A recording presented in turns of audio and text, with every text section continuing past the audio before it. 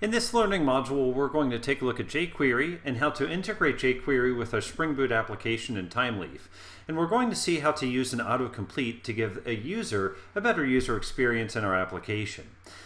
We're going to see how to differentiate between what a user sees and what a user types in and what we get in the backend. In other words, let's take a look at the finished product.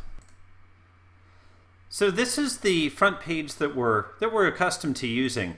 I'm going to show you a couple things. So let me put in a latitude of 20.00 and a longitude of 90.01. We'll make that a negative 9001, just something that we will remember.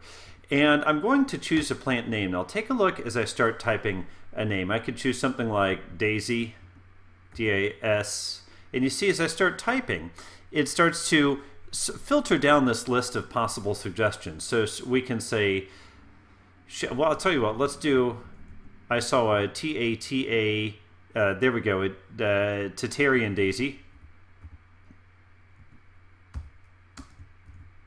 And you see as I'm typing, it's filtering down the list to something that matches what I'm typing. So I'm going to go ahead and select an item from a list. And you see it's Astrotartaricus. I'm guessing that's what that is.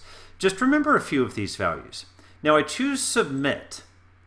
And I go back and I'm going to take a look now at our just one moment, I'm going to take a look at our database. And we'll simply refresh this table here.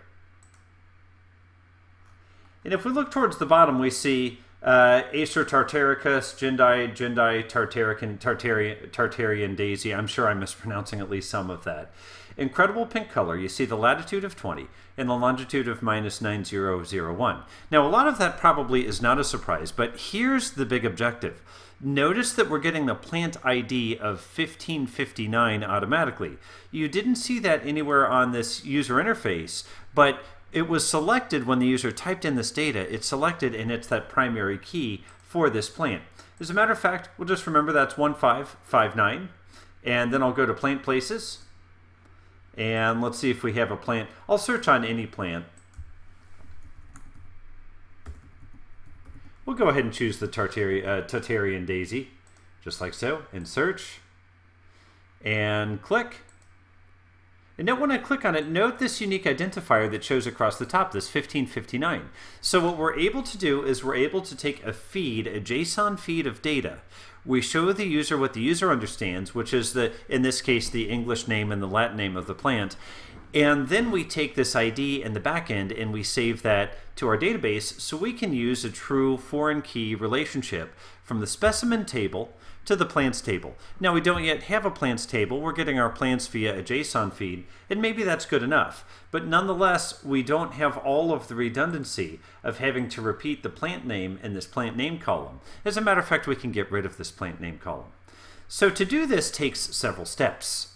And we'll go through each of those steps in the videos for this sequence. So first, we take a look at data list, which is a new HTML element in HTML5 that allows us to do a lot of autocomplete behavior.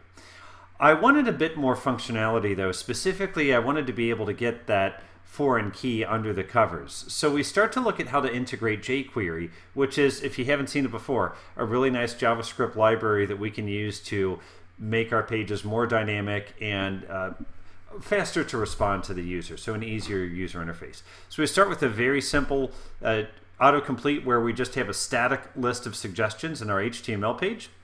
From that, we go to a dynamic autocomplete, which is where we have Spring Boot provide a JSON feed of data to our jQuery and says, hey, this is the list of terms that I want you to use as suggestions. Incidentally, our Spring Boot application is getting the data from another source via JSON as well. So there's a bit of transformation involved there. Then we see how we can maintain the data in memory so we don't have to go out and fetch new data every time the user presses a key. Obviously, that would create a lag that's not ideal. We want to be very responsive.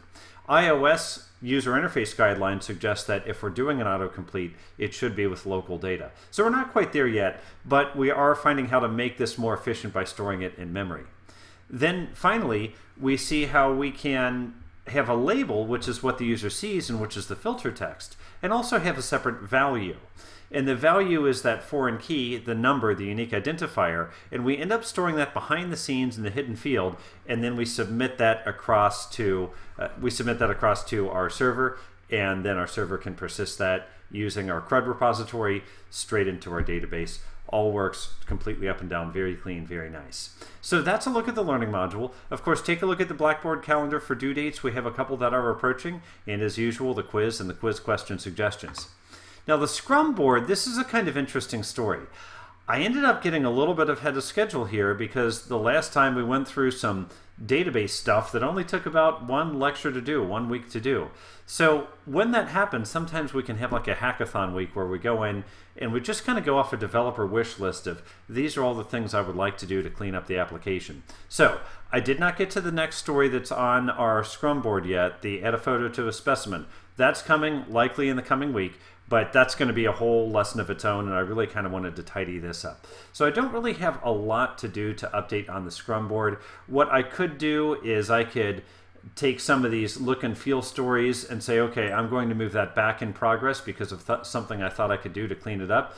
But we did get to completion on that so i would move that straight back to done. So a few of these stories were complete and we just figured out ways to make them even better so they'll remain in the done column so that's a look at the learning module this week. It's going to be a fun one because we're integrating client-side JavaScript framework with the server-side Spring Boot framework, and we're looking at a lot of the glue and a lot of the connectivity that happens between the two. So I hope you enjoy it. Thank you.